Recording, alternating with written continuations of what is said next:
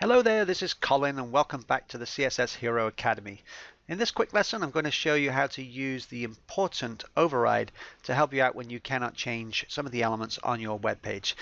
So here we are back on the Divi theme and I'm going to turn on CSS Hero so I can pick up some of the elements and I'm going to demonstrate what happens when you get an element that you cannot change. So for example we're going to choose this element here which is the slide title.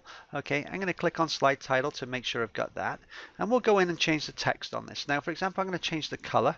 I'm going to make it really bright red so that you can see.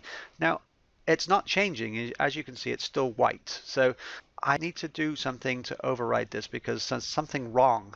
But there really isn't something wrong. It just means that some of the CSS in the theme is actually overriding CSS Heroes CSS. And what we need to do is up here we see a little icon with the exclamation mark and we click on that and then that will allow us to override that override if you get what I mean.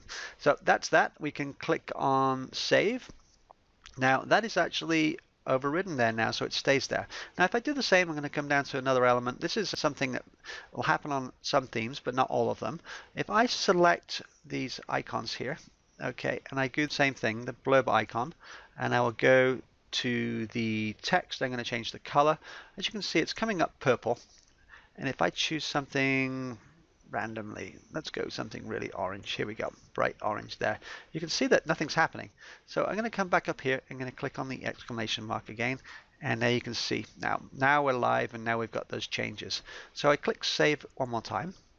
And what I'm going to do is I'm just going to show you something here and show you where that code comes in on the CSS. So I'm going to click on my little tools here, okay, and I come down to show generated CSS. Now it's all garbled up when you see it because it's actually minified, but if I click on the normal CSS, now we can see where these important statements are. There's, first of all, this is the one for the slide title or the slide description, okay, and this one is for the blurb icon. So as you can see, there's important there and important there. If we remove those, we'll lose the overrides that we had for CSS Hero. So I'm just going to close that. And that basically shows you how to override something if you don't see it changing when you're using CSS Hero. Thanks for watching. Look forward to seeing you next lesson. If you like this one, please click on subscribe and share it with your friends. Thanks. Bye now.